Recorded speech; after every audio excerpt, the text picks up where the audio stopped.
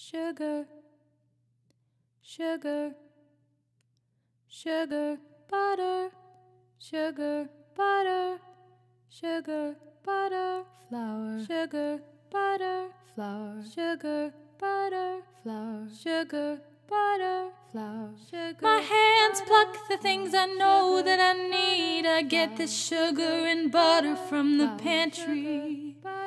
I add the flour to begin what I am hoping to start. Then it's down with the recipe and bake from the heart. Sugar and butter, flour and mother. What's inside?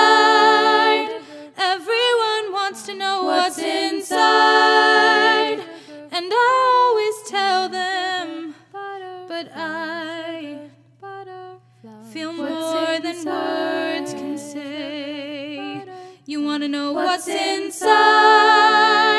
Simple question, so then what's the answer? My whole life is in here. What's inside? In this kitchen baking. What's inside? What a mess I'm making.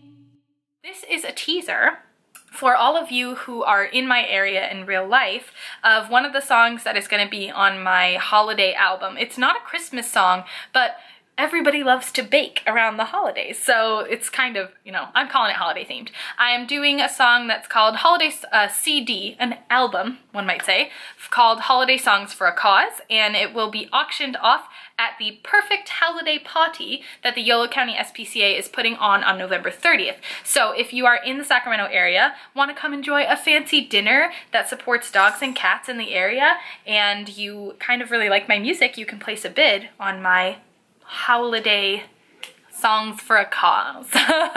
um, and I hope that you'll enjoy it. This is one of the songs that's going to be on that album. There's going to be about 15 songs. Some are Christmas songs, some are general holiday songs.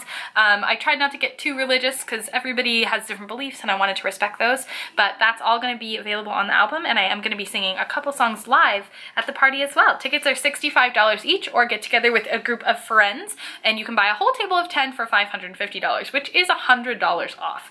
Um, you can get tickets on our Eventbrite. It's purrfecthowlidaypawty.eventbrite.com. I'll put the link right here and I'll put it in the description of this video if you feel so inclined. Uh, thank you guys so much for watching and please don't forget to like, comment, share, and subscribe. Until next time.